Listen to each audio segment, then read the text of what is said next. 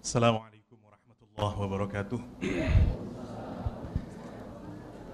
الحمد لله الحمد لله نحمده ونستعينه ونستغفره ونعوذ بالله من سرور أنفسنا وسيئات أعمالنا. من يهده الله فلا مضل له ومن يضلل فلا هادي له. أشهد أن لا إله إلا الله وحده لا شريك له وأشهد أن محمدا عبده ورسوله. اللهم صل على محمد وعلى آل محمد. كما صليت على إبراهيم وعلى آل إبراهيم في العالمين إنك حميد مجيد إخوة في الله رحمكم الله tiga bulan kalau saya tidak keliru uh, kita tidak bersua ada rasa kangen juga untuk bersama-sama menikmati hidangan Allah Ma'dubatullah Al-Quranul Karim Insya Allah pagi hari ini kita melanjutkan ayat kelima dari surat Az-Zalzalah sampai akhir sebagai bagian dari usaha kita mentadaburi Al-Quranul Karim. Dalam hadis riwayat Imam Tirmidzi, Rasulullah Sallallahu Alaihi Wasallam suatu saat didatangi oleh seorang laki-laki dan laki-laki itu berkata kepada Rasulullah SAW, Akrikni ya Rasulullah Sallallahu Alaihi Wasallam. Kata dia, wahai Rasul bacakan kepadaku ayat Al-Quranul Karim. Rasulullah SAW kemudian menyatakan Iqra' thalatan Bacalah kata Rasulullah min dawati alif lam ra. Bacalah surat di dalam Al-Quran yang ada alif lam ra-nya Yang diawali dengan alif lam ra. Kata dia Kaburo sinni Usiaku sudah menua kata dia. Wastadda qalbi Wa, wa lisani kata dia. Saya ini sudah tua ya Rasulullah kata dia. Uh, Apa namanya uh, lesan saya ini sudah susah ya. Jadi kalau baca surat yang panjang-panjang, keberatan lesan saya, rasanya susah. Rasul kemudian menjawab fakra min dawati hamim. Bacalah dari surat-surat yang diawali dengan surat dengan kalimat huruf muqatta'ah hamim. Dia mengulang lagi alasannya, saya sudah tua, ya, e, berat rasanya hati saya dan lidah saya sudah tidak mampu dan kemudian Rasulullah SAW membacakan Ida zulzilatil ardu zilzalaha. Kata orang itu, dia bilang ke Rasulullah SAW, Walladhi ba'athaka bilhaq, demi zat yang mengutusmu dengan kebenaran, kata dia, bilhaqi nabiyan, la azidu, sungguh aku tidak akan menambahi alaiha abada. Aku tidak akan menambahi terhadapnya selama-lamanya. Artinya dia hanya akan baca Idza zulzilatil ardu zilzalaha sebagaimana yang diajarkan oleh Rasulullah SAW. Rasul kemudian menyatakan aflahar ruwaijil, aflahar ruwaijil. Sungguh si laki-laki kecil itu bahagia. Rasul mengalamatkan orang yang membaca idza zulzilatil ardu zilzalaha atau surat al-zalzalah dengan kebahagiaan. Dan kita ingin karena kita tidak hanya membaca, kita ingin mentadaburi surat Az-Zalzalah ini. Semoga yang kita dapatkan dari surat Az-Zalzalah ini tidak hanya kefahaman tapi kebahagiaan nanti karena kita menjalankan apa yang ada dalam kandungan surat Az-Zalzalah ini dan semoga kelak dia juga menjadi syafaat yang menghijabi kita untuk bisa uh, uh, dilepaskan dari nerakanya Allah. Amin Allahumma amin. Oke, kita uh, review ulang sebentar. Idza zulzilatil ardu zilzalaha wa akhrajatil ardu athqalaha wa qala al insanu ma laha yauma idzin tuhadditsu akhbaraha bi anna rabbaka awha laha surat ini diawali dengan informasi bagaimana kiamat itu diberitakan dengan cara yang baru lagi oleh Allah SWT ketika Allah menggoncangkan bumi ini dengan goncangan yang amat dahsyat dan idza zulzilatil ardu zilzalaha wa akhrajatil ardu athqalaha dan semua yang dikandung oleh bumi yang memberati bumi mineralnya manusianya mayitnya semuanya dikeluarkan wa akhrajatil ardu athqalaha. Pada situasi itu ketika bumi goncang dengan goncangan yang super dahsyat yang semua muatannya dimuntahkan orang kemudian berkata wa qalal insanu malaha ada apa ini? Kenapa bumi bisa digoncangkan dan berhamburan semacam ini? Dan Allah juga menjelaskan di ayat ini salah satu fungsi dari bumi yakni nanti dia akan menceritakan dia akan memberikan kabarnya uh, uh, apa? Idza zulzilatil ardu zilzalaha wa akhrajatil ardu athqalaha wa qala al insanu ma laha yauma idzin tuhadditsu akhbaraha pada hari itu nanti tuhadditsu akhbaraha bumi menceritakan kabar-kabarnya. Kemarin kita terakhir membahas tentang itu uh, sebagaimana kata Rasulullah SAW ketika para sahabat bertanya, ada daruna ma akhbaruha? Kata uh, para sahabat, tahukah kalian? Kata Rasulullah apa kabarnya bumi itu? Bumi apa yang diceritakan oleh bumi? Kita sudah bahas kemarin. Bumi akan menceritakan apa? Amila kada wa kada, yauma kada wa kada, fahadi akhbaruha. Bumi nanti menceritakan semua amal kita. Kita melakukan ini itu, pada hari ini itu, di tempat ini dan itu, dan itulah yang dimaksud dengan akhbaroha. Jadi bumi menjadi salah satu alatnya Allah SWT untuk merekam semua jejak hidup kita, semua perbuatan hidup kita yang nanti akan diceritakan kembali oleh bumi. Karena itu kata Ibnul Qayyim al-Jauziyah, ya, bagi orang yang sering melakukan amal baik di dunia ini, di gunung, di tanah, di banyak tempat, maka bumi menjadi saksi akan kebaikan dia nanti. Dan bumi akan menceritakan. Saat ini bumi mungkin menjadi sesuatu yang nampaknya tidak berdaya bagi kita, kita injak-injak ya. Padahal dia merekam semua jejak hidup kita. Itu yang disebut dengan yauma idin tuhadithu akhbaroha. Kemarin kita bahas, saya tidak akan memperpanjang lagi. Kita masuk saja ke ayat selanjutnya bi anna rabbaka awhalaha. Oke, kita lihat bi anna rabbaka auhalaha. Kenapa bumi bisa menceritakan semua perilaku yang dibikin, yang dibuat oleh manusia ini, semua perilaku kita, satu. Kenapa bumi bisa meledakkan dirinya? Jawabannya adalah bi anna rabbaka. Karena Robmu Muhammad, kita akan lihat satu-satu, auha memberikan wahyu laha kepada bumi. Kita lihat dulu dari kata Robbaka. Kalau kita lihat dari ayat yang pertama, Ida zulzilatil ardu zilzala, ketika bumi digoncangkan dengan goncangan yang dahsyat, dengan seguncang, dengan seberat-beratnya. Uh, uh, bumi digoncangkan wa akhrajatil ardu athqalaha wa qala al insanu malaha yauma idzin tuhadditsu akhbaraha ceritanya ini kalau jenengan uh, uh, rasakan itu Allah menceritakan hubungannya dengan audien itu sebagai orang kedua atau orang ketiga perasaannya. Sebagai kayak orang ngomong gini aku dan kamu atau aku dan dia. Saya menceritakan yang jauh. Idza zulzilatil ardu zilzalaha wa akhrajatil ardu athqalaha wa qala al insanu ma laha yauma idzin tuhadditsu akhbaraha itu Allahnya sebagai orang eh, bukan orang sebagai apa pihak ketiga atau sebagai pihak kedua? Ketiga semuanya tidak ada kalimat seakan-akan berhubungan langsung begini. Eh, agak susah jelaskannya ya.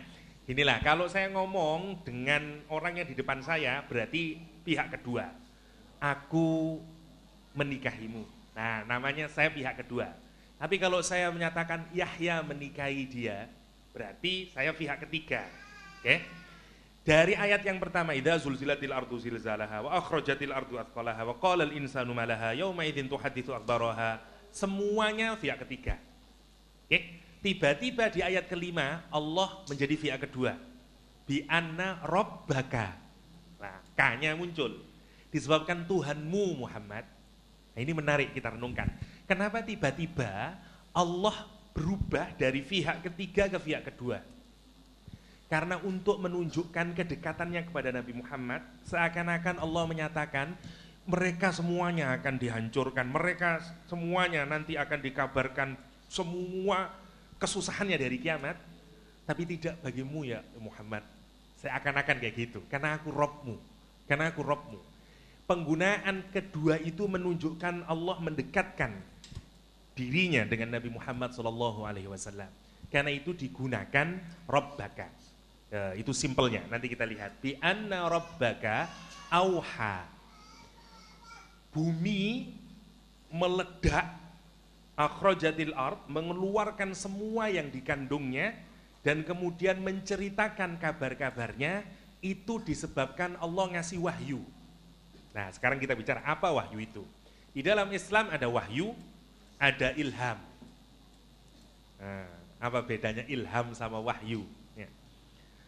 Uh, wahyu di dalam Al-Quran dipakai untuk nabi, orang biasa, hewan, bahkan untuk setan. Semuanya pakai wahyu. Jadi kalau wahyu itu dipakai untuk semuanya. Ya, misalnya Al-Quran misalnya menyatakan kita lihat ya uh, uh, salah satu uh, uh, apa namanya uh, Allah Subhanahu Wa Taala misalnya menggunakan uh, kata wahyu yang dipakai untuk uh, uh, para untuk nabi misalnya. Wa auhayna ila Musa. Dan kami mewahyukan kepada Musa. Musa Nabiullah. Wa auhayna ila Musa. Kata yang digunakan wahyu.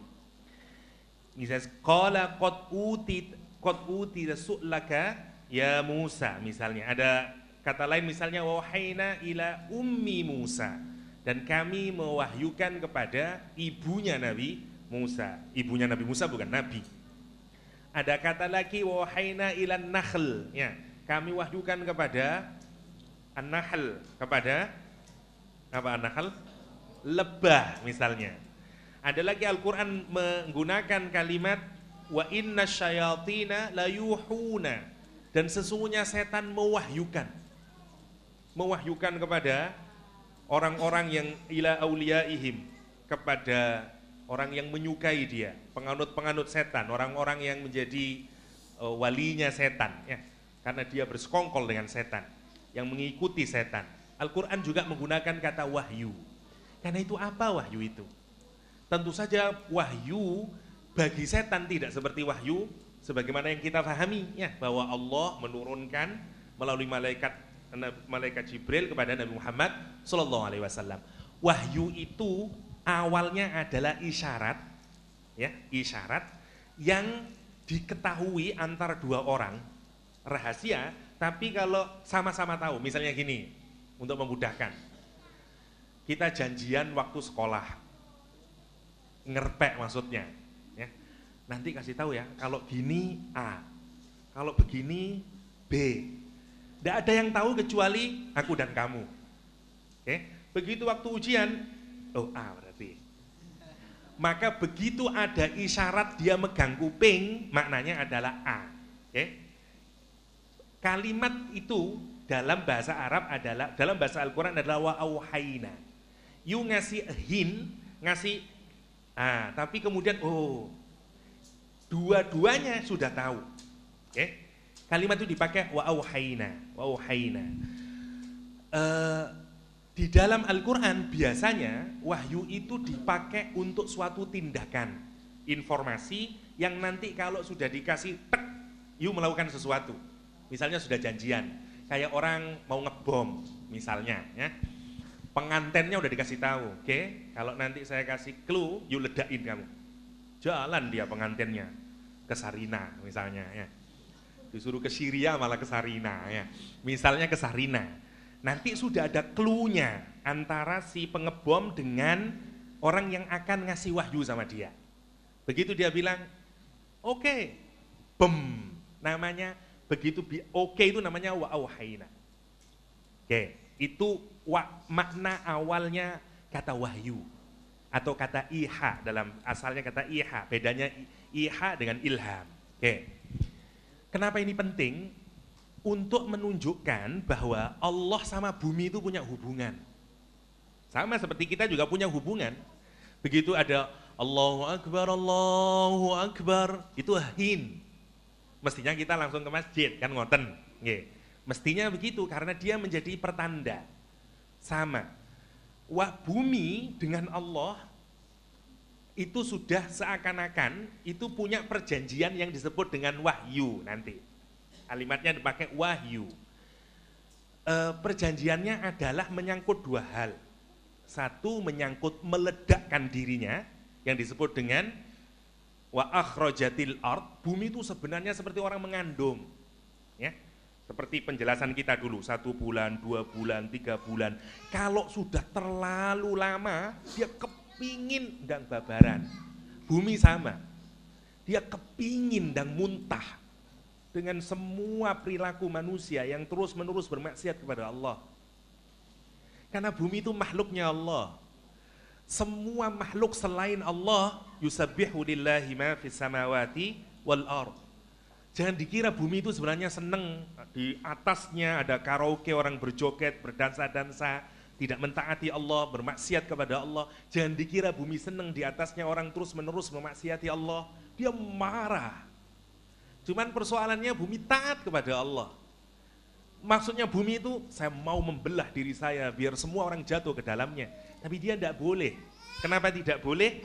Karena belum ada, itu maksudnya. Ada, boleh, kemarin kita membahas, kalau kita melihat hadis, bumi dibolehkan untuk berbuat sekehendaknya, kapan? Kalau orang sudah ada di dalam bumi, ketika orang meninggal dunia. Tetapi goncangannya masih sedikit, dia hanya satu di tempatnya itu kan, kita tidak merasakan. Tapi ada satu waktu di mana bumi memuntahkan, dan dia menggoncangkan. Sebenarnya dia sudah nunggu lama. Bumi itu sudah nunggu lama untuk waktu dia wa akhrajatil ard. Tapi Allah belum boleh. Kapan boleh Pak? Nanti kalau Allah sudah bi anna rabbaka auhala. Sudah klik yang pertama. Yang kedua bumi juga akan menceritakan itu juga nanti bumi akan menceritakan dari mana kita bisa tahu kalau uh, uh, uh, uh, uh, apa namanya uh, ada klik itu tadi.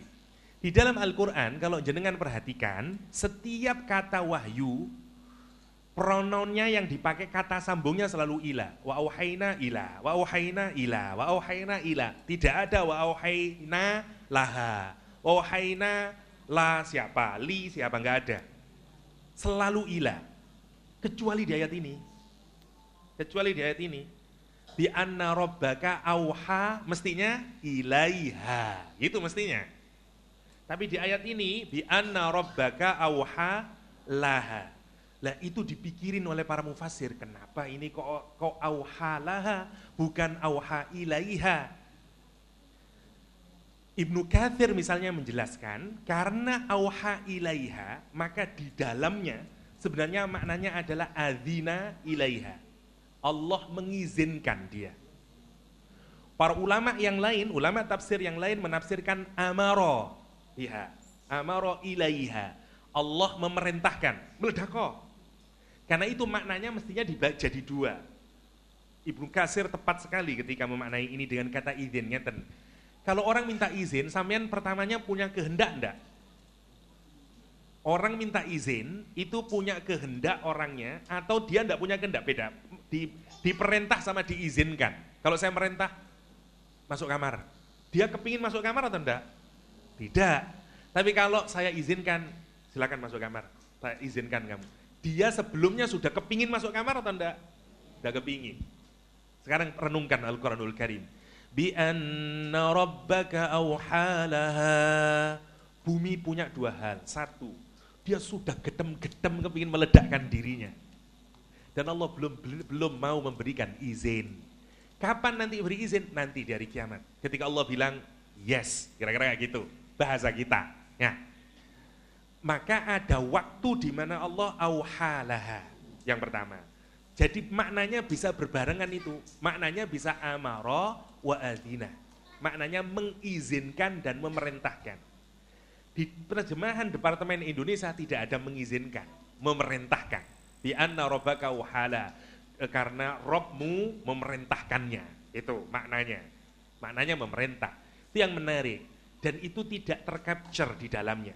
Ibnu Kathir mengcapture itu dengan menggunakan kata adina. Itu yang menarik dari dari Ibnu uh, Kathir. Kata itu kata Ibnu Kathir wadh-dhahir sorry wadh-dhahir anna hada mutmannun bi makna adina. Karena itu ini kata Ibnu Kathir mengandungi makna apa adzina laha Allah mengizinkan lah izin wis nemen dan itu yang harus kita renungkan bumi sebenarnya dia bukan sahabat orang-orang yang berbuat maksiat kepada Allah ya. Kita sekarang hanya karena Allah sayangnya kepada kita. Semuanya ciptaan Allah ini dibikin untuk kita oleh Allah SWT untuk agar kita mentaati dia. Kita dikasih semuanya termasuk tanah. Termasuk tanah. Karena itu monggo dirunungkan setiap, karena itu kita disuruh sujud oleh Allah untuk mengingat pada bumi. Tempat di mana kita berpijak, tempat di mana nanti kita akan berada di dalamnya ketika kita meninggal dunia, yang nanti dia akan memberikan persaksian atas semua perbuatan yang kita lakukan. Karena itu mengapa Rasulullah kalau sholat sunnah disuruh di tempat yang lain lagi, di tempat yang lain lagi. Kenapa? Karena bumi menjadi saksi. Tuhadithu akhbaraha.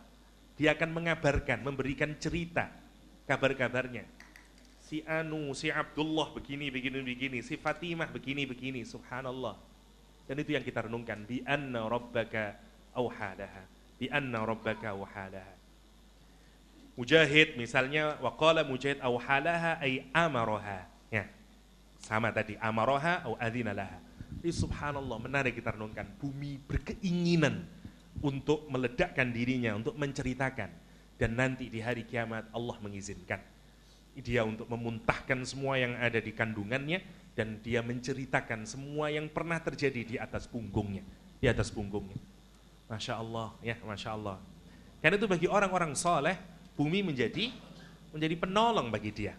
Dia bisa bersahabat dengan bumi sebagaimana Rasulullah SAW di banyak uh, hadis kita bisa dapati di banyak cerita berkenaan dengan Rasulullah SAW. Gunung Uhud yang diam ketika mengalami gempa, disuruh diam-diam, tanah membelah. Ya, subhanallah Kenapa? Karena uh, bumi sesungguhnya adalah makhluknya Allah, makhluknya Allah Subhanahu wa taala yang tidak bisa lain kecuali mentaati Allah Subhanahu wa taala. Bi anna rabbaka awhalaha yauma idzi yasdurun nasu ashtatan liyurau a'malahum. Yauma idzin pada hari itu yasdurun nas. Uh, kata kalimat yang menarik kata yasduru pada hari itu manusia keluar dari kuburnya, turun nas, keluar dari kuburnya. Biasanya kata yasduru dimaknai kata keluar. Tapi Al-Quran menggunakan kata yasduru dengan pilihan yang sangat menarik. Ya. Ada dua kata yang maknanya agak mirip. Kata waroda sama uh, sodaro. Kata yasduru sodaro dari kata soder artinya dada ini. Tapi maknanya saudara itu adalah kalau orang pergi e, dari satu titik A menuju titik B, ya, kemudian untuk se, satu waktu di titik B, kemudian nanti dia kembali lagi ke titik A lagi. Kalau orang melakukan perbuatan A ke B, B ke A, namanya orangnya disebut dengan as dalam bahasa Arab. Sodir. Misalnya kalimat yang dipakai oleh anaknya Nabi Shu'aib ya, ketika mau mengasih minum uh, hewan-hewannya. Dia diam karena nunggu orang-orang laki-laki yang ada di bawah itu selesai ngurusin kambing sama sapi-sapinya, ngasih minum. Karena dia perempuan, sementara ayahnya sudah tua. Dan dia nunggu ketemu Nabi Musa alaihissalam ketika ditanyain uh, what are you doing girls? Nah gitu ya. Ditanyain ngapain? Kata dia mau ngasih hasta kalimat yang dipakai hatta yusdiror ri'a. Kalimat yang dipakai kata yusdiro. Dari kata sama. Sampai mereka kembali lagi. Setelah di mana orang itu kalau ngasih minum hewannya berangkatnya dari mana? Dari rumah. Ya dari rumahnya dibawa ke sungai ngasih minum. Setelah itu kembali lagi ke mana ke rumahnya. Kalimat yang dipakai hatta yusdira. Oke. Sama dengan kata kalimat ini yauma idi yasduru. Maksudnya kata Allah menggunakan kata yasduru itu kita pernah di suatu saat berada di tempat A, nanti kemudian kita dipindahkan ke tempat B, we stay sometime di sana, kemudian ada waktu nanti kita dikembalikan lagi ke tempat A lagi. Namanya sodir. Kalau orang tidak kembali dari A, terus pergi ke B, tidak kembali wes, di B terus, namanya warid, dari kata waroda. Itu bedanya. Allah tidak menggunakan kata waroda, tapi menggunakan kata sodaro, yasduru. Kita ini adalah sodir, yang harus kita ingat. Saya tanya sekarang, dari mana asal kita, dan mau ke mana kita, kemudian kembali lagi kita ke mana kira-kira? Dari dunia ini. Kita berada di dunia, kemudian kita dikeluarkan oleh Allah ke mana kita? Ke mana? Tinggalnya alam kubur, ke barzah kita. Nanti keluar lagi dari mana? Dari tanah ini yang disebut dengan yaumul ba'ats. Ketika semua dari kuburan itu muncul dan kita mendapati bumi ini sudah berbeda dengan bumi yang awalnya. Tapi tetap karena munculnya nanti kita kembali lagi karena itu Allah menggunakan kata yasduru. Subhanallah. Karena Allah mengingatkan you datang dari tanah ini, dari bumi ini. Dan you nanti akan meninggalkan ini ketika kita meninggal dunia. You stay di sana, di kuburan, di grave untuk sekian waktu sampai nanti yaumul ba'ats diledakkan kembali dan kita kemudian berada di atasnya dan Allah menyatakan yauma tubaddalul ard ghairal ard. Ya pada hari di mana bumi diganti dengan bumi yang tidak seperti ini lagi. Tapi Allah mengingatkan you tidak akan ke mana-mana karena nanti kita akan kembali lagi. Karena kita sodir karena kita sodir yauma yasduru mengingatkan bahwa ke mana pun apa pun yang akan kita lakukan, nanti kita akan me melihatnya kembali. Kita akan tanggung jawab lagi, karena kita akan dikembalikan lagi. Kita akan muncul dari kuburan kita, yang disebut dengan yauma yasdurun nas. Yang menarik, kalau hidup di dunia ini, hidup di dunia ini, semua orang itu banyak grouping-groupingnya, ya disatukan disatukan oleh berbagai kelompok ya. Misalnya semua orang di sini dikumpulkan dengan satu bendera namanya Nurul Hayat. Disatukan lagi karena semuanya berbahasa Jawa namanya orang Jawa. Disatukan lagi karena sesama orang Indonesia jadi orang Indonesia dan segala macam. Kita punya grouping-grouping, punya grouping-grouping menariknya di yaumul qiyamah dan grouping-groupingnya ini, kumpulan-kumpulannya untuk di dunia, macam-macam orang dikumpulkan. Bisa karena persamaan kerja, dan bisa ngumpul antara orang beriman sama orang tidak beriman. Nggih. Di satu tempat pekerjaan, ada orang yang beragama A kumpul dengan beragama B. Ada orang yang soleh calon ahli surga sama orang yang ahli neraka, kumpul ya di satu. Di dunia. Tapi nanti di akhirat, di hari kedua kita nanti setelah datang masuk ke dalam bumi dikeluarkan lagi nanti begitu kita keluar yauma idzin yasdurun nas ketika kita dikeluarkan oleh Allah ashtatan pecah macem-macem kita ini ashtatan dari kata syatta ya lawannya allafa kalau ada dua hati yang awalnya tidak berjauhan yang awalnya tidak bersatu Kemudian Allah satukan mereka, kalimat yang dipakai Al-Quran, Allafa. Fa'allafa baina kulubikum. Kata Allafa, taklif. Taklif. Ya, di, didekatkan hatinya oleh Allah SWT. Yang awalnya bercerai-berai, dia disatukan dalam iman. Sama. Uh, uh, muhajirin sama ansar berkelahi.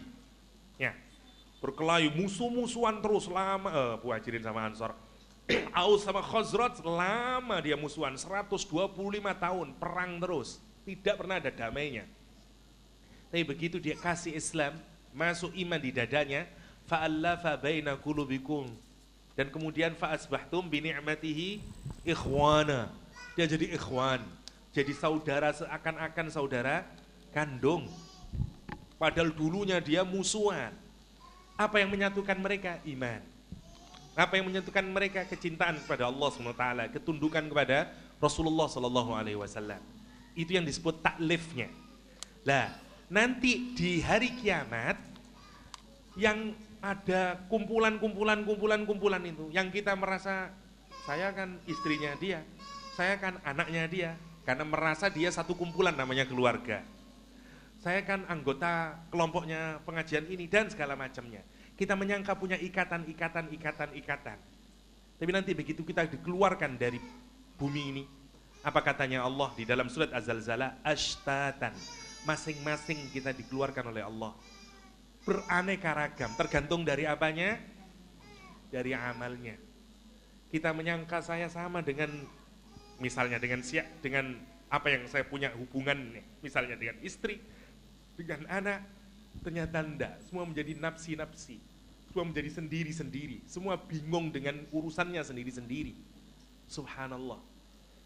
Meskipun nanti ada orang yang diselamatkan itu semuanya, tapi secara general rumus dasarnya adalah semua orang dibangkitkan oleh Allah astatan. Ya sendiri-sendiri. Ini yang menarik. Ai anwa'an wa asnafan akan berbanyak, akan berasnaf-asnaf, akan banyak modelnya, tipenya. Ma baina syaqiyun wa ba'id.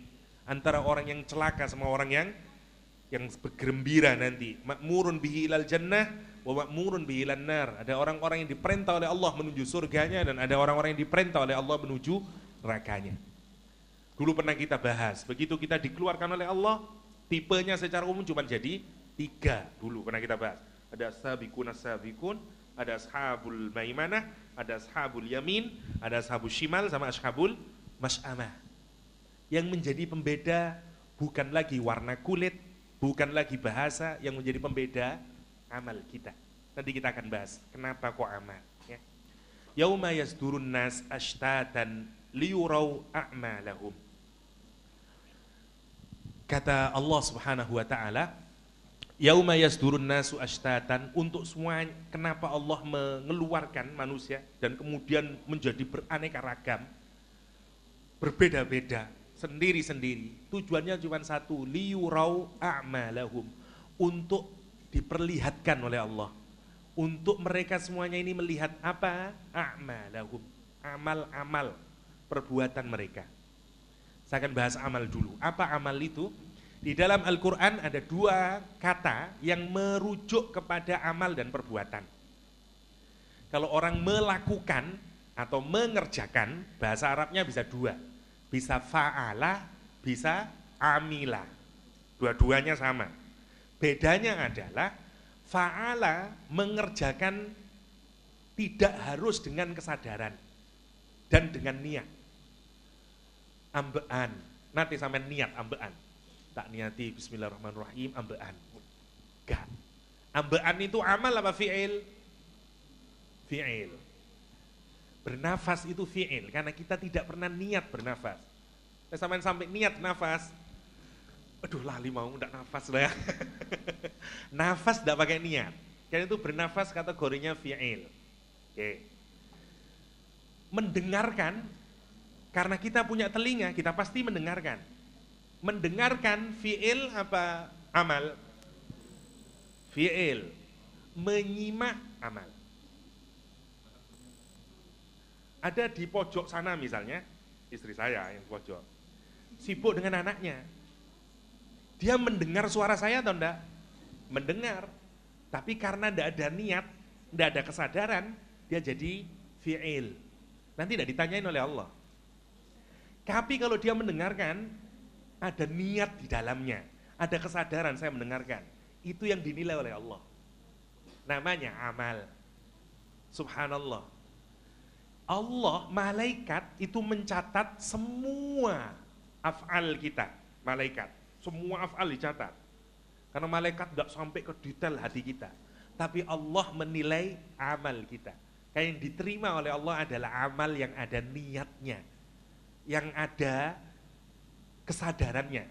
Sama nek ngelindur nggak dicatat oleh Allah. Orang gila nggak dicatat oleh Allah. Bah dia bermaksiat tiap hari, bugil di jalan, tidak ada maksiatnya.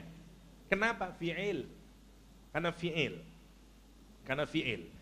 Yang menarik Allah di ayat ini menjelaskan bukan fi'il yang dinilai Allah, tapi amal kita. Amal kita.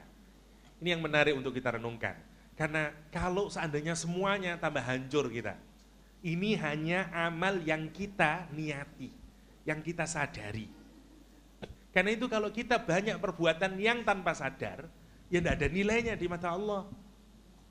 Ya, kalau ada orang melakukan perbuatan dan dia tidak ada niat, tidak ada nilainya di mata Allah. Ya, sama karena dia menjadi perbuatan yang sia-sia. Itulah amalan orang-orang kafir misalnya, karena dia tidak diniatkan. Niat niat saja tidak untuk Allah, wong tidak nyampe kok. Ya, saya sudah beramal, saya saya kira dulu banyak sebagaimana Al-Qur'an menjelaskan. dia bilang dia merasa sudah banyak amal. Tapi begitu nanti di yaumul qiyamah, kok nggak ada semuanya amal saya. Kok nggak sampai di yaumul qiyamah?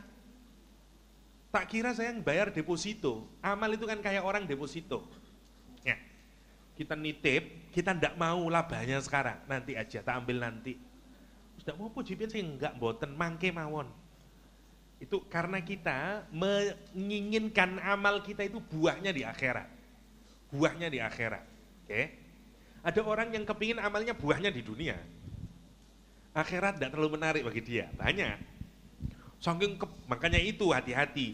Kalau kita kata para ulama, kalau ada orang berbuat amal, terus niatnya itu lebih besar dunianya tidak diterima oleh Allah daripada akhiratnya. Contoh gini, sodako. Kalau sodako pokoknya kepingin ke sodako itu iso kawin. Boleh sih durung nikah-nikah misalnya. Urusan dunia.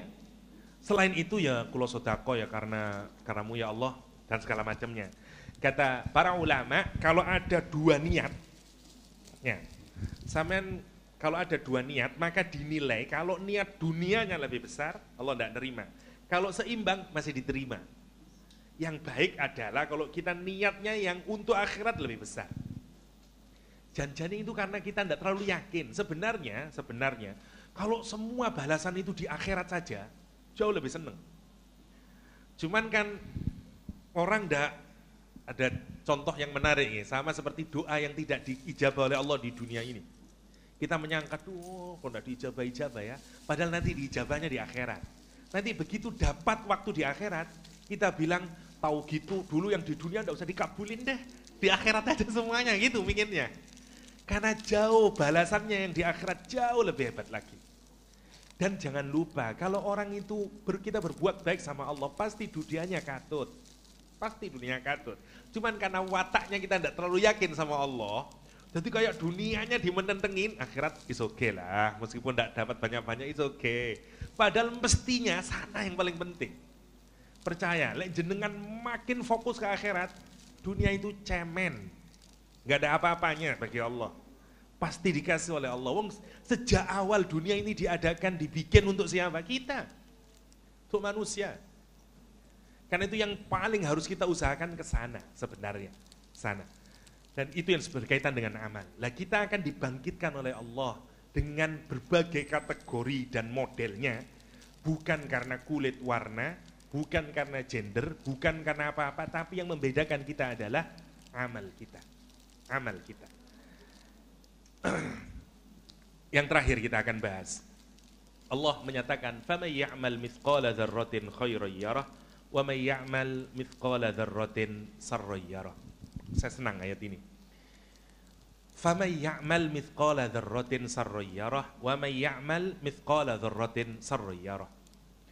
Begitu nanti kita dibangkitkan oleh Allah Subhanahu wa taala dalam keadaan yang bermacam-macam, Allah mengingatkan kita bahwa siapa saja yang beramal kebaikan atau keburukan maka dia akan melihatnya.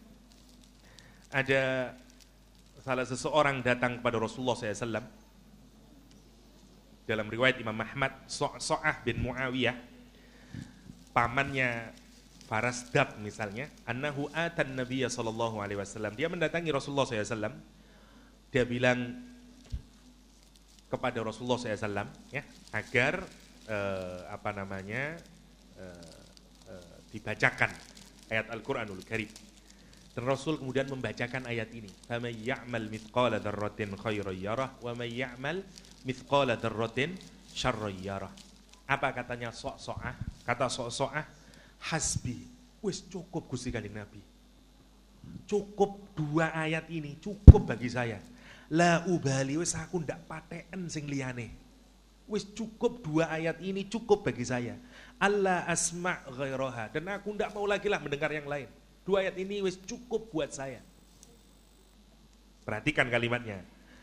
Dia mendengarkan ayat ini dari Rasulullah SAW. Kalimat "Famay ya'mal mithqala dzarratin khairan yarah wa may ya'mal mithqala. Dia bilang cukup ya ya Rasul, aku tidak mau dengar yang lain lagi. Saya tidak peduli lagi. Dua ayat ini sudah cukup menusuk jantung dia. Dua ayat ini sudah cukup untuk menjadi peringatan dan mau'izah bagi dia. Apa yang saya ingin kemukakan adalah kalau ada orang yang merasa cukup dua ayat ini sebagai peringatan bagi dia, pasti dia menyadari betapa dalamnya kandungannya. Karena itu misalnya Rasulullah SAW menyatakan ayat ini, dua ayat ini sebagai ayat yang paling dalam di dalam mengandungi hikmah, kebijaksanaan di dalamnya. Kalau orang mau mentadaburi dua ayat terakhir dari surat Az-Zalzalah, wis cukup. Wis cukup gak usah yang urip kayak wong wong Surabaya. Wis cukup. Kayak benek no ati sing sik nemen ae teng pangeran, boten gelem nang ati pangeran. Wis cukup dua ayat ini hasbi la ubali. Ya, wis cukup. Subhanallah. Kenapa cukup? Mari kita lihat. Faman ya'mal mithqala dzarratin khairan yarah. Kalimat ini namanya kalimat bersyarat atau if then namanya, if then statement kalau dalam bahasa Inggris. Jika maka. Jika aku eh, apa? Jika aku punya uang, maka engkau akan aku traktir. Kalimat maka akan aku traktir hanya bisa terjadi jika saya punya uang. Oke, okay? if and then namanya. Kalimatnya faman, siapa saja, barang siapa, barang siapa, itu if-nya, dan-nya mana? Ya rohu, dan-nya. Maka you akan melihatnya. Kalimatnya. Oke, sekarang kita perhatikan. Kalimat ini Dua-duanya menggunakan kata man. Yang tidak merujuk hanya kepada orang mukmin tapi merujuk kepada dua-duanya. Mau mukmin, mau kafir, dua-duanya dirujuk oleh ayat ini. Faman atau waman. Ya'mal, ingat-ingat seperti ayat yang tadi menggunakan kata amal. Barang siapa yang beramal, melakukan perbuatan dengan kesadaran, dia sadari perbuatannya, seperti sholat kita, perbuatan kita dan segala macamnya, dan segala macamnya. Karena itu kita disuruh banyak ngomong bismillahirrahmanirrahim, niat ditata dan segala macamnya agar semuanya berbuah menjadi amal, buah jadi amal. Bayangin kalau orang merenungi ini, semuanya jadi amal. Dari bangun tidur sampai tidur lagi, semuanya jadi amal soleh. Seorang istri misalnya, semuanya jadi amal soleh. Sejak dia bangun, mulai godok air, bikin, dan segala macamnya. Suami, hatta kata Rasulullah SAW, duduknya suami dengan istrinya dia berpahala Subhanallah karena semuanya jadi pahala. Allah menyatakan semua amal, semua amal. Barang siapa yang beramal, fama ya'mal mithqala dzarrah. Mithqal mithqal itu kayak miftah alat, isim alat ya. Mithqal itu alat yang digunakan untuk menimbang. Jadi kalau ada timbangan, no bahasa Indonesia, bahasa Jawa nih, timbangan ini loh gandulannya itu yang ada sekilo, dua kilo, seperapat, namanya mithkol. Namanya mithkol, bukan mithkol gini ya, bukan. Mithkol, pakai tak ini. Nah mithkol itu yang memberatkan itu.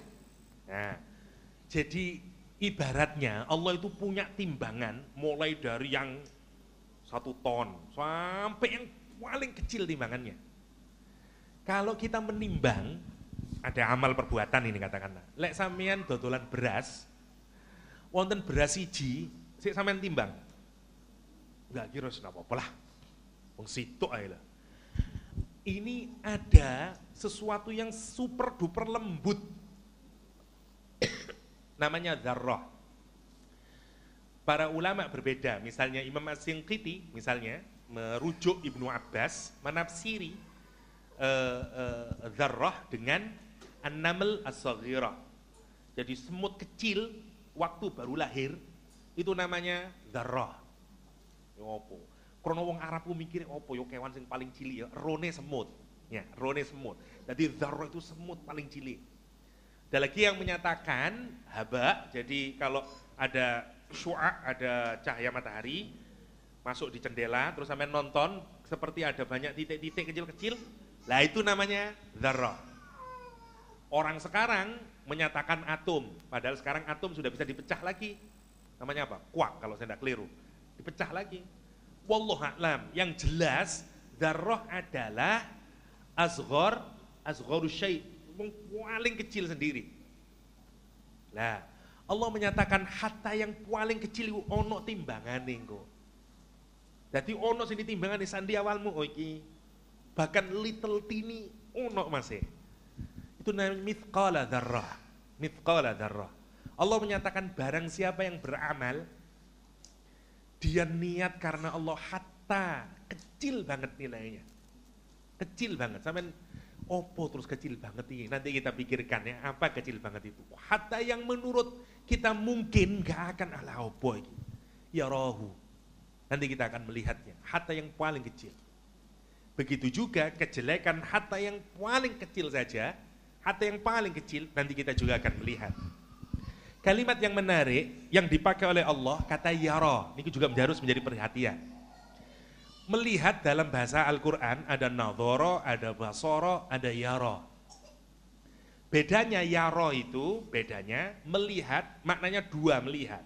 Satu melihat dengan mata kepala, namanya ru'yah, karena itu kalau orang rukyah dengan mata kepala, ya, bantuannya pakai teleskop tapi tetap dengan mata kepala. Ada yang menggunakan bukan mata kepala, mata pikiran. Dia menggunakan hitungan, sebenarnya juga yaro. Sama kayak orang barat misalnya menyatakan, dia jelasin terus orang baratnya ngomongnya, oh I see, I see. I see, tapi maksudnya I understand. Tapi ngomongnya I see, duduk saya melihat, bukan gitu. Ya orang barat kalau dijelasin gini, ah I see, I see. Kita enggak, enggak ada bahasa Indonesia. Sampai kalau paham enggak ngomong, eh, saya melihat, saya melihat. Enggak, enggak gitu. Bahasa Inggris pakai. Bahasa Inggris pakai. Bahasa Arab juga pakai. Bahasa Arab juga pakai. Jadi uh, uh, melihat di sini maknanya dua. Melihat itu, melihat dengan mata kepala. Yang kedua melihat dengan mata pikiran. Maksudnya memahami. Ngeten. Kalau sampean melihat saja dengan mata kepala, tapi boten memahami, kira-kira ono efekin boten teng ati. Boten efeke. Contoh, nonton wong wedok ayu. Kulo gampang akan jadi gampang maksud kulo. Melihat wanita yang cantik, tapi nggak paham. Opo iku ayu, nggak pahamnya nonton dok gini, nggak ada efeknya. Atau apalah jangan gitu kurang nggak tepat itu. Gini, kita baca tulisan bahasa Inggris. Tapi nggak ngerti bahasa Inggris seperti bapak saya. Lucu, bapak saya itu lucu orangnya. Dia baca dibaca ada koran. Lah iya sing gendeng iso apa? Meripatku ya iso, maca ya iso, tapi kok ndak paham dari bapak saya itu. Dia baca ayemol, oh apa karepe iki? Namanya dia melihat. Oke? Okay? Tapi buatan memahami, efeknya ndak sampai ke hati. Dapat surat pemecatan, kerja di bahasa Inggris pemecatannya diwoco yu uh, opo yang gue udah ngerti nih begitu dia tanyain nopo nih maksudnya ah, berbesmili dia nangis oke okay? lihat Allah menggunakan kata ya rohu nanti begitu kita melihat amal sampai diperlihatkan amal tapi tidak hanya kita melihat dengan mata kepala kita, mulai kita lahir, ya Allah saya begitu dia dulu dan segala macamnya. Bukan cukup hanya melihat dengan mata kepala, tapi kita akan faham. Faham akan apa? Balasan yang disiapkan oleh Allah. Kalau ini saya akan begini, kalau saya yang amal ini saya akan dihukum gini, yang begini akan ini, yang begini. Sampai lek kau ngoten ya apa perasaan ini? Sekarang bayangin jangan yang itu tadi, sampean dipecat. Atau lek wong biyen gampangane nerimo surat dicerai atau diputus ya ya Allah ndak sida wis misale dan segala macamnya sedih itu sedih karena dia bisa memahaminya karena dia bisa memahaminya sekarang bayangkan bukan satu peristiwa yang kita lihat semua amal kita lihat hatta yang paling kecil akan kita lihat dan kita melihatnya tidak dengan dua mata ini saja, tapi juga dengan hati kita. Dan kita tahu ya Allah ini resiko hatta, ya Allah aku gak ngiro. Lalu dulu saya ada satu ulama di masa saya lupa, tapi tapi atau tabi'in yang tidak bisa sholat tahajud enam bulan kalau saya tidak keliru atau tiga bulan. Gara-gara cuman satu hal. Ada orang tertawa, ada orang nangis. Orang nangis, terus dia bilang di hatinya, niku nangis ndak kira krono Gusti Allah itu. Eru aku wong niku ndak kira krono Gusti Allah. Ndak diucapin ini di hatinya saja. Dia ngejudgment berdasarkan hatinya. Ditegur oleh Allah dia tidak bisa sholat, tidur terus sholat aja tidak bisa lagi. Sebagai ganjaran opo itu sopo aku dieling-eling ya Allah gara-gara dia punya judgment terhadap orang. Sopo roh ini wong ta? Seperti itu tidak boleh. Hatta kayak begitu misalnya kita akan lihat ya Allah iki dosa aku biar. Iya ya aku tidak ngerti. Semuanya hatta yang paling kecil sekalipun. Subhanallah sekarang renungin. Kalau semua amal itu kita lihat dari yang paling besar sampai yang paling kecil dan Allah memperlihatkan dengan kedua mata kita dan kemudian dilihatkan juga ancaman yang akan menghadang kita atas amal yang telah kita lakukan. Bagaimana kondisi itu? Faman ya'mal mithqala dzarratin khairan yarah. Faman ya'mal mithqala dzarratin sarran yarah. Abu Darda, Abu Darda. Sahabat Rasulullah Shallallahu alaihi wasallam yang sangat memukau masuk Islam agak awal, akhir sehingga dia banyak kompet dengan sahabat-sahabat yang lebih senior karena merasa saya tidak banyak amalnya dibanding mereka sampai terakhir agak drastis toko-tokonya banyak di dijualin dipindahin semuanya dan dia cukup sedikit terakhir dia punya unta. Dikasih nama Damun. Namanya Damun untanya. Abu Darda tidak pernah memberati untanya dengan berat yang tidak sanggup dipikul oleh untanya. Dan hati-hati bener dia. Ikin ison tidak kuat, isa akan tidak cukup, tidak boleh. Dan setiap ada tetangganya, setiap ada tetangganya yang meminjam untanya dia selalu bilang, kamu jangan kasih ini, itu, ini, itu, enggak boleh ya, enggak boleh ya, karena dia enggak sanggup, karena dia enggak bisa, masa dia, karena dia enggak bisa, uh, uh, la tahmilu alaihi illa kada wa kada, kamu jangan kasih beban dia ini dan itu, karena dia enggak sanggup. Cerewet banget. Begitu nanti dia di ujung akhir hidupnya, dia bilang sama untanya, Ya Damun, la tukhasimni ghadan inda rabbi. Wahai Damun, Jangan engkau musuhi aku nanti besok di hadapan Robku. Wallahi kata dia demi Allah kata dia fa ini lam akun ahmilu alaika illa ma tutiq kata dia sesungguhnya aku tidak pernah membebinimu dengan apa yang tidak pernah engkau sanggup menanggungnya. Dan renungaken. Kok ono sahabat hatta unta mawon dipikir. Ya. Kalau pertanyaan ini kita lebarkan, Ya apa besok istri kita, anak kita, pegawai kita, pembantu kita, siapa pun yang pernah kita zolimi, yang pernah kita berikan beban di luar beban yang dia lakuin. Sementara dia nanti dia akan menuntut. Anak-anak kita nanti akan menuntut. Jangan dikira nanti sekarang dia anak kita. Sekarang dia suami istri kita. Sekarang dia sahabat kita. Tapi nanti di yaumul qiyamah sebagaimana Ibnu Mas'ud menjelaskan salah satu makna dari semua orang nanti akan sendiri-sendiri ya e, semua orang akan berlari sendiri-sendiri wa ummihi wa abi wa sahibati wa bani kenapa karena semua orang mencari apa kesalahan orang lain terhadap dirinya sehingga bisa bisa meringankan dirinya atau bisa membuat dia diampuni kesalahannya. Semua orang mencari-cari. Misalnya suami istri opo yang aku kok katanya mlebu neraka iki? Aku biar ngene itu kan karena bojoku. Ya Allah ini karena istri saya ini karena semua orang mencari-cari. Dia menjadi musuh satu sama lain. Yang seakan-akan sekarang seperti sahabat karena itu kalau orang tidak diikat oleh iman dia menjadi musuh satu sama lain dia musuh satu sama lain subhanallah hatta untuk ukuran unta saja para sahabat Rasulullah SAW sebegitu perhatiannya Sebegitu perhatiannya. Karena ini bukan perkara kecil, ini juga bukan persoalan kecil. Bagaimana lagi dengan haknya orang lain? Karena itu Rasulullah menyuruh kita untuk apa? Perhatian hatta terhadap perkara-perkara yang kecil. Perhatian hatta terhadap perkara-perkara yang kecil. Apalagi kalau kita sudah perhatian sama perkara-perkara yang lebih besar lagi. Karena kalau kita perhatian sama perkara yang kecil, nanti yang besar makin hebat lagi ya kayak Al-Fatih, kayak Al-Fatih Muhammad Al-Fatih, pembebas Konstantinopel, ya. Ketika sholat Jum'ah, eh, ketika sholat dia tanyain, siapa ini yang mau mimpin sholat?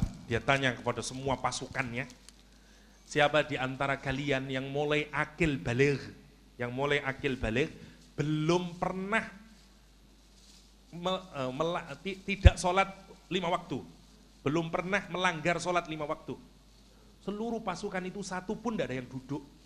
Karena artinya seluruh pasukan itu sholat lima waktu. Mulai balik sampai dia ikut berperang membebaskan Konstantinopel. Pertanyaan kedua sekarang, siapa di antara kalian? Kata Muhammad Al-Fatih, pemuda 21 tahun yang jadi khalifah. Siapa di antara kalian yang tidak pernah tidak melakukan sholat rawatib? Sebagian sudah mulai duduk, sebagian masih berdiri. Tanda mereka juga sudah banyak di antara mereka yang sholat rawatib tidak pernah lepas. Pertanyaan terakhir Muhammad Al-Fatih. Siapa di antara kalian yang sejak balik tidak pernah satu malam pun dia lewatkan kecuali dia menunaikan sholat tahajud. Tidak semuanya duduk, tinggal siapa sekarang yang berdiri? Muhammad Al-Fatih. Pemimpinnya orang mukmin saat itu. Karena itu pantas jika Rasulullah SAW menyatakan, Fani'mal amir amiruha. Sebaik-baik pemimpin adalah pemimpin yang membebaskan Konstantinopel pemuda 21 tahun sejak balik sampai umur 21 tahun tidak satu malam pun dia tidak sholat tahajud. Orang yang model kayak begini nih yang bisa membebaskan Konstantinopel. Ya. Subhanallah kalau kita lihatkan. Nah kalau kita bisa menjaga hal-hal yang kecil-kecil pasti yang besar-besar beres. Pasti yang besar-besar beres. Itu yang diperingatkan oleh Allah. Jangan menyepelehkan kebaikan yang kecil atau kejelekan yang kecil. Karena semuanya tidak ada yang lalai dari tatapan mata Allah Subhanahu wa taala. Karena semuanya akan dipertanyakan oleh oleh Allah Subhanahu wa taala. Ubadah bin Samit radhiyallahu an. Salah seorang sahabat Rasulullah SAW. Lama hadirat Ubadah bin Samit al-wafat. Ketika mau menjelang wafat. Ya, sakaratul maut. Dia bilang, keluarkan kasurku di luar. Dia minta dikeluarkan. Virusnya dikeluarkan. Ya. Kala kata dia, ajmi'uli mawali, kata dia, kumpulkan semuanya budak-budakku, kesanak keluargaku, wajironi, anak-anak, istri-istriku, dan tetangga-tetanggaku. Semuanya suruh ngumpul semuanya. Ini orang sakaratul maut, mau meninggal dunia. Kemudian semua orang berkumpul dan dia bilang, ini yaumi, sesungguhnya hari ini Aku meyakini hada la arahu illa akhir yaumi. Kata dia, sesungguhnya aku meyakini hari ini adalah hari di mana aku di, uh, hari ini adalah hari terakhir hariku yang berlaku pada diriku ya'ti alayya minat dunya yang akan aku lalui di dunia ini. Wa awwala lailatin minal akhirah dan mungkin nah, malam ini akan menjadi malam pertamaku di akhirat. Maksudnya ini orang mau meninggal dunia. Bahasa kita, le awan iki mungkin awan terakhir kurim nih dunia. Dan kok bengi iki wis awal bengiku mlebu di akhirat. Omongannya Ubadah bin Somit. Kata dia, wa innahu la adri dan aku gak ngerti kata Ubadah bin Somit. Apakah aku ini kata dia, apa yang telah keluar dari lesanku, apa yang telah keluar dari mulutku, apa saja saya tidak tahu, apakah tanganku, kakiku, apa saja yang pernah aku lakukan itu pernah menyakitimu, menyakiti kalian semuanya ini. Dan aku ingin kalian menuntut kisos pada diriku sebelum aku, sebelum Allah mengambil ruhku. Kata Ubadah bin Somit. Orang-orang berkata, bal kunta kata dia, udah tatakan tetapi engkau wahai sahabat Rasulullah sallallahu alaihi wasallam, engkau adalah orang yang baik, engkau adalah orang yang soleh, dan dia kemudian berkata, kata dia, maukah kalian memaafkan aku? Maukah kalian memaafkan aku? Kata Ubadah bin Somit. Dan semua berkata, Qalu na'am, nggih. Ibaratnya saya nggih yai, boten jenengan saya, jenengan saya. Kabeh dia minta maaf. Sepurane yo, sampean gelem ndak nyepuro aku? Sepurane yo bojoku, sepurane yo anakku, seporone tangga-tanggaku, malah nangis ngomong kabeh. Nggih yai, nggih yai, gampangane ngoten. Naam, naam. Begitu naam dia nengadah ke langit dan dia bilang Allahumma fashhad, Allahumma fashhad ya Allah, saksikan ya Allah. Saksikan bahwa mereka mengampuniku kesalahanku ya Allah. Lihat, kalau kita renungkan, kenapa ada orang yang bisa sebegini detailnya mikirin perilaku hidupnya? Nopo? Karena dia merenungi ini. Sama ya'mal mithqala dzarratin khairan yara. Kalau kita tidak masuk ini, fama ya'mal, alah lah apa lah wong cilik aja kok ngoten tapi orang kalau berpikir ini hatta yang kecil dia pikirin hatta yang kecil dia pikirin kenapa karena dia takut menghadap Allah masih ada kejelekan yang belum diampuni, masih ada kemaksiatan atau perilaku yang belum di, dimintakan maaf kepada sesama manusia, pada orang lain. Dan ini yang menjadi perhatian. Lihat efek dari orang-orang yang yang memperhatikan amal-amalnya, memperhatikan semua perbuatan yang dia lakukan. Karena itu Rasulullah SAW menyuruh kita perhatian hatta untuk perkara yang kecil. Rasul misalnya menyuruh kita untuk sodako walau bisyik kita meroh misalnya. Sodako, jawa neraka, itakun nar. Takutlah kalian terhadap neraka, api neraka yang akan menjilat-jilat kalian. Kata Allah SWT, kata Rasulullah. Dengan apa? Walau bisyik kita meroh, walau ambek sigar. Sigarane kurma. Saking miskine, tetep wedya. Sodako la iso hatta separuh kurma untuk menyelamatkan dirimu. Bagi orang mungkin oh pulang separuh kurma kok nono artine. No. Semua ada maknanya di hadapan Allah Subhanahu wa taala. Atau kalau kamu tidak mendapatkan itu kata Rasulullah, lebih gak iso hat bi kalimatin thayyibah. Minimal lek panjenengan ndak duwe dunya apa-apa, omongane sing apik. Karena semuanya akan dihitung oleh Allah. Hatta oleh Allah, jangan sepelehkan. Kalau ada orang-orang yang memintamu, untuk meminta air dan engkau berikan setetes, seteguk, dua teguk air, semuanya akan diperhitungkan oleh Allah Subhanahu wa taala. Perbuatan-perbuatan yang mungkin kita tidak pernah pedulikan, yang kecil-kecil. Nyingkirkan duri di jalan, ramah sama orang, senyum sama orang, semuanya, semuanya. Dan kalau mulai kita perhatikan hal-hal yang kecil, maka nanti yang besar akan ngikut. Tapi kalau kita mikirin yang besar-besar, yang kecil-kecil tidak terlalu diseriusin, yang besar juga akan hancur. Yang besar juga akan hancur. Karena itu penting untuk kita merenungkan ayat ini. Amal yang kecil, amal yang besar. Karena semua amalan yang besar hanya akan muncul kalau kita memulai dari yang kecil-kecil. Dan penting untuk kita renungkan. Fama ya'mal mitqala dzarratin khairan yara. Siapa yang melakukan amal kebaikan khair adalah kebaikan yang semua akalnya manusia menyatakan dia baik. Sebenarnya khair itu meskipun tidak pakai syariah Islam semua orang bilang baik. Contoh, berbuat baik kepada kedua orang tua. Opoai ini orang menyatakan pasti dia baik. Pasti itu merupakan kebaikan. Namanya khair. Lawannya syar juga sama. Apa saja yang menurut akal manusia, menurut standar universal dia buruk, namanya syar. Meskipun menarik, syar itu dari kata syaroroh. Ya, kalau kita bikin api, api itu kalau sudah menjilat-jilat, mesti ada bongkahan api atau apa yang keluar biasanya. Nah, namanya itu syaroroh. Ya, bayangin sekarang, kalau ada percik api satu, mungkin sarung kita yang berlobang.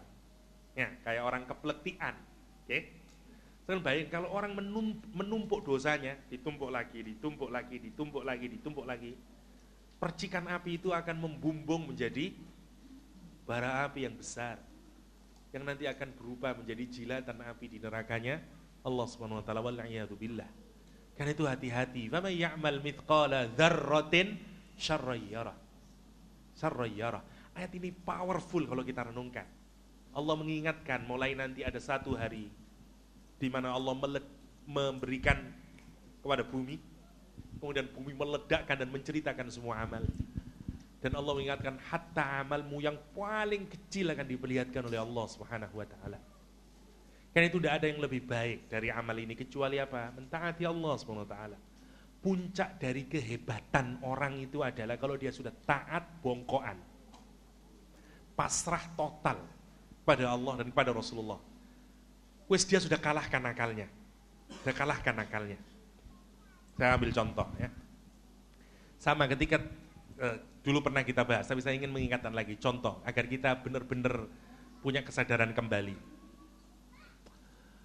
Ayat tentang innalladzina yubayyi'un Allah ya. Orang yang berbaiat kepada Nabi Muhammad di bai'atur ridwan ya, di Suluh Hudaybiyah dipuji oleh Allah Subhanahu wa taala. Allah ridho terhadap mereka. Bayangin, coba renungkan. Allah ridho Allah seneng. Sampai Allah ridho. Baik, kalau Allah ridho dapat apa dia? Dapat semuanya. Pada siapa? Mereka yang memberikan kesetiaan kepada Rasulullah SAW. Kenapa kok sehebat itu di Sulh Hudaybiyah jenengan sekarang bayangkan. Mekah ini Mekah ini mau diserang habis-habisan oleh orang Quraisy. Karena di di Uhud jadi di Badar 70 pemimpin Quraisy meninggal. Tapi di balik di Uhud 70 sahabat Nabi meninggal. Jadi di Badar petong polo pemimpin orang kafir mati kafir termasuk Abu Jahal. Di Uhud sebaliknya. Gara-gara orang tidak taat kepada Rasul. Gara-gara orang tidak taat kepada Rasul.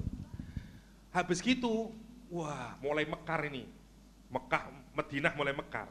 Orang Quraisy mikir iki lek digenengno iki belain Madinah. Dia pinter, dia ngajakin semua suku-suku yang awalnya tidak peduli dengan urusan politik tidak peduli dia. Ya tidak peduli tapi dibilangin, yuk lihat tuh, Medina sekarang makin kuat. Kalau kita tidak habisin Medina, suatu saat dia akan mengalahkan kita semuanya. Karena itu penting hari ini kita bikin kesepakatan, kita bikin pasukan yang sangat besar untuk ngabisin Medina. Sepakat orang-orang, bikin aliansi kalau sekarang. Lah aliansi ini jadi jadi besar kemudian karena awalnya yang tidak ikut jadi ikut. Orang yang ikut jadi ikut. Kuat banget, kuat banget. Sudah datang ini. Namanya Al-Ahzab. Perangnya perang Khandaq. Kumpul ini, menyerang dari depan. Tidak hanya dari depan Medina, dari belakang juga diserang. Orang-orang Yaman, orang-orang Kristen nyerang dari belakang. Tidak hanya depan dan belakang, di dalam sendiri orang Yahudi wis ngontak sama orang Yaman. Kok jarang ngotakan ningsor ya, tekan buri ya. Kok lewat jeruk tak tulungi, tak hancur no pisan hancur dalam perhitungan strategi perang habis Madinah. Karena ini pasukan yang sangat besar. Keluar ide cemerlang dari Salman Al-Farisi. Tidak bisa lagi ya Rasul, satu-satunya yang bisa kita untuk menghambat adalah kita gali parit. Karena meskipun besar ya digali parit, nggak bisa. Karena kalau kecemplung parit, kita tinggal manahin. Sementara kudanya tidak bisa naik lagi. Oke, tidak kalangan, tidak kurangan akal. Orang-orang kafir kures dalam jumlah yang besar. Oke, kon gawe parit tak nih. Karena Madinah itu bagaimanapun dia tidak bisa, karena dia butuh dari luar untuk logistiknya, untuk makannya, kuat-kuatan aja lah ngono wis. Tak nih kon, mari nentek kabeh berasmu, banyu mati dewe. Tinggal pilihannya, you akan menderita kelaparan, atau kemudian engkau oke okay lah, kita mengaku kalah ditunggu. Orang-orang zaman Rasulullah SAW, wedi. Silakan nanti dibaca di surat Al-Azhar. Allah bahkan menggambarkan atine wong Medina, ku tutuk tenggorokan mriki. Atine saking wedine. Sumpah yo apa iki hancur wis Medina. Dah singkat cerita, kalau kita taat kepada Rasulullah SAW, taat kepada Allah SWT, ada saja caranya Allah. Allah kirim malaikat, Allah kirim angin puting beliung, pasukan yang menunggu di luar dihancurkan oleh angin sama malaikat, modar, ya pulang kembali, selamatlah Medina. Tapi apakah orang Mekah masih bersungut-sungut ingin menghabiskan orang Mekah, orang Medina? Masih, wong perang gagal. Perang itu tidak murah dulu, semuanya pakai biaya dan segala macamnya, marah masih. Begitu tidak lama, tidak lama, tujuh bulan, enam tujuh bulan, pasca perang Khandaq Rasulullah mimpi. Mimpi umroh bareng sahabat semuanya. Terus Rasulullah ngomong yang sahabat ngene, aku mimpi umroh dengan kalian semuanya. Yuk kita umroh yuk. Saya tanya, kalau anda habis berperang enam bulan yang lalu, dan mereka masih dendamnya sampai di sini, mungkin membunuh. Terus Anda mau berangkat umroh yang artinya tidak bawa pedang, tidak bawa tameng, artinya pada menyetor nyawa ngeten loh. Dan yang dibawa hanyalah pisau kecil untuk nyembelih kambing sama unta. Saya tanya, keberanian bentuk bentuk apa tekad apa yang ada di dalam dada seseorang yang menyatakan, oke okay, ya Rasulullah, sami'na wa kami berangkat umroh bersamamu. Apa yang membuat mereka berani dan mentaati Rasulullah SAW? Tidak ada lain kecuali cintanya, ketundukannya kepada Allah. Dan dia tidak peduli, coro hitungan akal, stor mati. Hitungan akal. Ya napa wong musuh ado-ado tekan Mekah, diparani yang Madinah, niatnya untuk menghancurkan. Sekarang kita yang datang ke Mekah, gawe ikhroman tok, tidak bawa senjata. Coba bayangkan. Sementara orang Madinah masih bersungut-sungut untuk membunuhnya. Satu, ketaatan yang super istimewa dari para sahabat Nabi, meskipun menurut akal, boten sanggup. Menurut akal nggak kuat. Tapi karena dia yakin ini dari Rasulullah Sallallahu Alaihi Wasallam dia ikutin. Subhanallah kalau kita renungkan. Subhanallah renungkan. Masih banyak, tapi yang terakhir lagi misalnya untuk menunjukkan bagaimana ketaatan yang mumpuni ketaatan yang sungguh-sungguh total kepada Rasul, kepada Allah SWT, itulah yang paling membuat Allah ridho. Dan dialah yang menjadi kualitas paling tertinggi. Paling tertinggi. Oke, sekarang jauh-jauh nih, wis nyeret, unto, ya, 1400 orang berjalan. Melaku, jenengan nek melaku ini tidak satu dua hari, mungkin minggu bisa berbulan-bulan. Wong 5 jam perjalanan, nah 5 9 sampai 9 jam perjalanan. Pakai bis. Waduh Mekah Medina. 500 km melaku. Dan bukan Surabaya, Makkah berbatu. Begitu dia mendengar akan muncul, dihabisin dulu. Sama orang Quraisy, kita sikat aja dulu lah sebelum dia nyampe Makkah dikirim pasukan Khalid bin Walid sama Ikrimah penjaganya. Sehingga cerita Rasul kemudian mengalihkan. Riwayat menuturkan untuk sampai di Hudaybiyah karena jalannya tidak biasa dilalui, kaki mereka hampir semuanya lecet-lecet dan berdarah. Sekarang dengan rungakan, yo apa pegele nih gue, Mekah Madinah, kaki lecet semuanya, wis bondon teh akeh. Habis gitu begitu sampai di Madinah, Utsman dikabarkan terbunuh dan mereka ini siap-siap wis wis kesel wis ngamuk sekarang marah karena Utsman dibunuh dan diminta kesetiaan oleh Rasul ayo perang. Dan mereka sepakat oke Rasul perang. Wis nekat wis karuan wis umroh ndak umroh pokoknya mesisan mujahid jihad mati-mati wis surga. Kira-kira begitulah gambarannya. Mereka bersetia semuanya. Tapi yang menarik tiba teko wong oh, no no no no no ndak ndak situ perang Utsman iki lho ndak ndak mati Utsman. Ini ayo rundingan rundingan. Rundingane awakmu ndak haji saiki ndak umroh mulya. Nomor siji sampean bayangaken saken yo opo rasane hati Mekah Medina melaku sekil getin kabeh wis ngamuk tutuk kene rasane mau jihad mm, mari ngono mulai. Ya coba rasane satu, yang pertama. Yang kedua, tidak hanya suruh pulang, dan tidak hanya suruh pulang, terus Rasul itu nyetujui. Semua isi perjanjian yang tidak menguntungkan orang Islam menurut akal sehat disetujui oleh Rasulullah. Semua orang yang punya kecerdasan ngerti bahwa itu semua tidak menguntungkan Islam menurut ukuran utaknya manusia. Ya. Yang menarik, yang menarik, hatta orang sekelas Umar bin Khattab protes kepada Rasulullah SAW. Dan dia bilang, ya Rasulullah, kenapa engkau menghinakan agamaku ini? Menghinakan agama ini. Padahal kita ini belum berperang. Kenapa engkau oh, sama mereka ini orang Quraisy, orang yang wah dan segala macamnya. Rasul tidak bisa jawab. Rasul cuma bilang, ini Rasulullah, aku utusannya pangeran. Dan Allah tidak akan menyanyiakan aku. Jawabannya tidak pakai akal. Bukan dijelasin ini Umar, itu strategi ini enggak. Karena menurut hitungan akal manusia rugi. Coba bayangkan. Bersungut-sungut Umar itu. Satu, 1400 orang itu cuma satu yang mau menerima keputusan Rasul. Sinten itu? Abu Bakar Siddiq. 1400 ini sahabat top sedoyo Sahabat top semuanya ini dari Mekah sana. Tidak ada yang peduli. Rasul sampai kejadian yang pertama. Begitu selesai tanda tangan, Rasul memerintahkan uh, ikhromnya tolong dicepot. Kita tidak jadi haji. Satu pun sahabat tidak ada yang mencepot ikhromnya. Bayangin sekarang, baru kali pertama Rasul tidak ditaatin. Nopo? Saking mangkele rasane. Uh, kan ngoten wong waduh. Udah lama. Ninggal anak bojo kabeh karuan mati saya haid. Ya, misalnya dan segala macam. Apa yang menarik? Apa yang menarik? Masuk dia ke dalam biliknya Rasulullah, ada Ummu Salamah, istrinya yang dibawa oleh Rasul. Cool down ya Rasul, nanti mereka taat.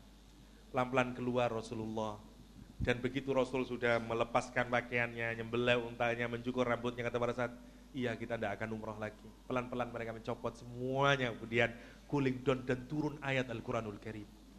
Inna fatahna laka fat. Makanya Al-Quran menyatakan, Walladhi anzala sakinah fi kulubil mu'minin liyazdadu imanan ma imanihim. Siapa yang nurunin sakinah? Duduk KOA, sanes. Ya yang nurunin sakinah Allah. Kenapa kok Allah menyatakan huwaladzi anzala sakinata?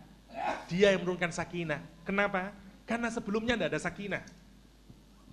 Karena semuanya gerundel, karena semuanya marah, semuanya frustasi, semuanya stres. Kenapa? Karena hatta besar sahabat mereka itu adalah manusia biasa. Yang layak marah, yang layak bisa gitu. Tapi subhanallah, lewis kerungu Al-Quran, kalau sudah datang perintah Allah, meskipun menurut saya kalau model kita semuanya mesti ditinggal ya, mesti ditinggal. Bahkan sahabat, ada sahabat yang menyatakan, ya Rasul, kata engkau kita ini umroh, bukankah engkau sudah bermimpi? Dan mimpi itu adalah wahyu, lo kok saya ikon mulai? Piye tau sampean niki? Gampang ngoten. Rasul cuma bilang, ya memang saya bermimpi umroh, tapi saya tidak menyebutkan tahun ini atau tahun besok. Itu Rasulullah SAW. Subhanallah kalau kita renungkan, stres sahabat. Tapi begitu ayat Al-Quran sampai Allah memuji. Karena dia menurunkan sakinah. Dan bahkan orang semuanya yang ada dalam suluh Hudaybiyah dia dua punya dua punya dua iman. Liyazdadu imanan ma imanihim. Allah menambahi iman mereka di atas dikasih iman lagi. Dulunya dia sudah punya iman. Bagaimana dia tidak punya iman? mereka bisa berangkat dari Makkah ke Madinah. Wes dua iman. Ini wes wong mukmin dikasih mana iman oleh Allah SWT. Itu hebatnya orang-orang sahabat Rasulullah yang mengikuti bayatul ridwan. Liyazdadu imanan ma imanihim. Walillahi junudus samawati wal ard. Subhanallah ini. Kalau kita lihat, renungkan. Prestasi paling besar. Ya, sahabat-sahabat mulia adalah sahabat-sahabat yang mengikuti suluh Hudaybiyah. Mereka orang-orang yang Allah ridho terhadap mereka semuanya. Ujiannya buatan kecil, ujiannya berat. Ujiannya berat. Yang bahkan ngalahin akalnya mereka. Tapi selama itu datang dari Allah, dia bisa lalui semuanya. Kita lihat, bahkan ujian yang besar dia bisa lalui. Sekarang, kalau orang yang sudah kayak begini pantas ada model orang kayak Abu Darda, Ubadah bin Somit, Abu Bakar Siddiq, Umar Khattab, orang-orang yang hebat semuanya. Kenapa? Karena memang mereka sudah punya iman di atas iman, di atas iman. Subhanallah. Hatta orang yang sudah kayak begini, hatta urusan yang kecil-kecil akan dia perhatikan. Urusan yang kecil-kecil akan dia perhatikan. Seringkali orang menilai urusan yang kecil-kecil itu bukan bentuk ketaatan kepada Allah. Percayalah kalau kita mulai dari yang kecil-kecil, mulai dari yang kecil-kecil, terus dia akan menubuhkan, menguatkan, mengokohkan ketaatan kita kepada Allah dan kepada Rasulullah sallallahu alaihi wasallam. Faman ya'mal uh, mithqala dzarratin khairan yarah wa man ya'mal mithqala dzarratin syarran yarah, syarran. Itu mungkin uh, uh, pengantar uh, apa namanya kajian Az-Zalzalah bagian kedua sebagai renungan kita bersama-sama bahwa ada satu hari di mana kita semuanya akan dibangkitkan oleh Allah Subhanahu wa taala untuk diperlihatkan seluruh amal perbuatan kita dan yang penting untuk kita renungkan adalah bahwa perbuatan apa pun yang kita lakukan kecil besar bahkan yang paling kecil yang Allah menggambarkan mithqala dzarrah semuanya akan diperlihatkan oleh Allah. Kita akan melihat dan kita akan mengerti ancaman, balasan apa yang hendak akan diberikan oleh Allah Subhanahu wa taala kita. Semoga kita dijadikan oleh Allah sebagai manusia-manusia, sebagai hamba-hamba Allah yang memperhatikan amal-amal hatta itu yang paling kecil semuanya untuk ketaatan kepada Allah wa rasuluhu. Amin Allahumma amin. Adanallahu wa iyyakum ajma'in wa sallallahu ala nabiyyina Muhammadin wa alihi wa wasallam. Walhamdulillahirabbil alamin. Ada tanya jawab? Ya. Silahkan Bapak Ibu, kami siapkan, kami menyediakan dua pertanyaan apabila ada, ada pertanyaan. Dua pertanyaan.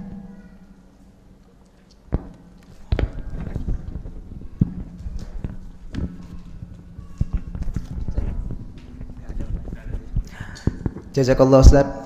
Semoga pada kajian hari ini Allah memberikan keridoannya pada kita dan semakin menambah keimanan kita semua. Semakin menambah rasa takut kita kepada Allah Subhanahu wa taala. Terima kasih atas kehadirannya.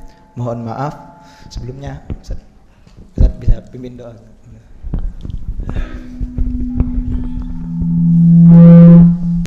Oke, terima kasih. Uh, Semoga kajian kita ini, kajian Az-Zalzalah yang kedua ini membuka mata kita untuk tidak meremehkan amal karena tidak ada amal yang besar kecuali dia dimulai dari yang kecil dan kita juga tidak meremehkan dosa kita karena tidak ada dosa yang besar kecuali adalah dosa kecil yang dilakukan secara terus-menerus dan tidak ada dosa yang besar kecuali dia dosa yang diiringi dengan taubat kepada Allah Subhanahu wa taala. Semoga kita perhatian tidak hanya pada hal-hal yang besar, tapi hal-hal yang kecil sehingga kita semua hal yang kecil itu kita rawat.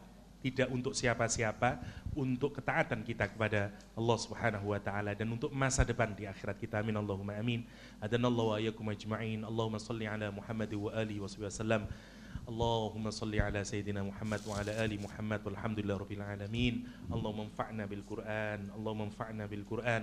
اللهم يا ربنا آتنا في الدنيا حسنة ربنا آتنا في الدنيا حسنة وفي الآخرة حسنة وقنا عذاب النار. وادخلنا الجنة مع الأبرار يا عزيز يا غفار يا رب العالمين. وصلى الله على نبينا محمد وآله وصحبه. والحمد لله رب العالمين. السلام عليكم ورحمة الله تعالى وبركاته.